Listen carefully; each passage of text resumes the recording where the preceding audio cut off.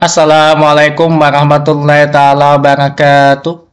Bismillahirrahmanirrahim. Alhamdulillah jumpa lagi dengan kami Rusdia Mawang.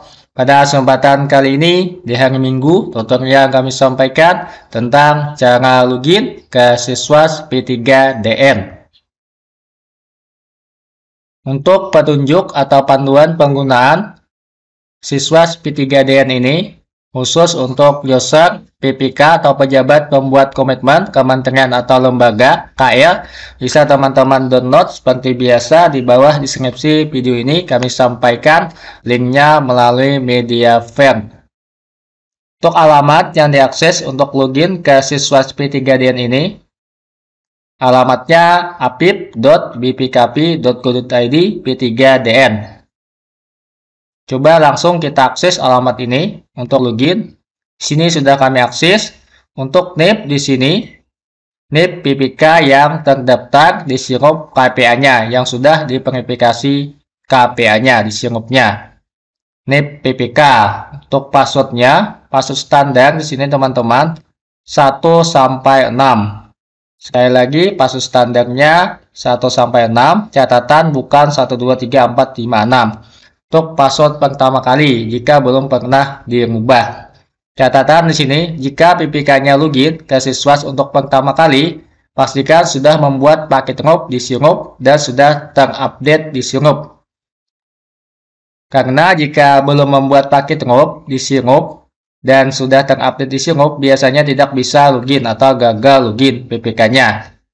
Untuk mencek paket yang sudah terupdate di Sirup, yang sudah diumumkan KPA tentunya menu rekap, klik pilih KL pilih sampai ke shortcutnya. Sini kami contohkan cara cek paket yang sudah terupdate di atau yang sudah diumumkan oleh KPA-nya. Tentunya loginnya alamatnya Sinop LKPP. Kita contohkan cara mencek. Di bagian rekap ini teman-teman, alamatnya dari Sinop LKPP. Rekap. Di sini yang jadi catatan untuk data rekap ini diperbaharui setiap 3 jam sekali. Jadi apabila kita baru membuat atau mengerjakan, tentunya belum otomatis langsung masuk ke sini untuk membuat paket jika baru saja. Di sini waktu normal setiap 3 jam sekali data rekap akan diperbaharui. Jadi bagi teman-teman satker yang baru input, tentunya tidak langsung masuk otomatis, ditunggu waktu normal setiap 3 jam sekali. Cara menciknya, pilih atau PD. Jika kementerian, klik kementerian. Pilih kementerian Satker, bisa kami Kementerian Agama, Kementerian Agama. Tinggal dicari Satker kita di sini. Masukkan kode Satkernya atau nama Satkernya. Paling mudah kode Satker saja. Contoh kode Satker kami. Tinggal klik cari. Ini teman-teman, sudah kami buat, sudah kami buat dua paket sewa kola. Untuk mencek paketnya bisa diklik di sini, paket sewa kola dan penyedia dalam sewa kola ada 8 paket. Tinggal diklik untuk mencek paketnya seperti ini, otomatis akan muncul. Ini paket yang kami buat, sewa kelola. Dan satunya lagi ada 8 paket penyedia dalam sewa kelola. Seperti itu teman-teman. Cara menceknya mudah saja di lengkap ini. Pastikan tadi sudah terupdate atau sudah berlangsung waktunya setiap 3 jam sekali jika baru pertama meninput di sirupnya. Oke, itu cara mencek paket kita yang sudah diumumkan KPA di sirup.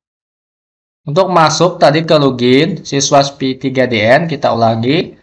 Di sini NEP PPK. Passwordnya tadi 1 sampai 6. 1 sampai 6 bukan 13456. Coba kita login, klik masuk. Jika berhasil login, maka akan ada tampilan seperti ini. Untuk kebijakan di sini tidak perlu diisi. Ini bisa diklik untuk kebijakan, bisa dilihat rinciannya.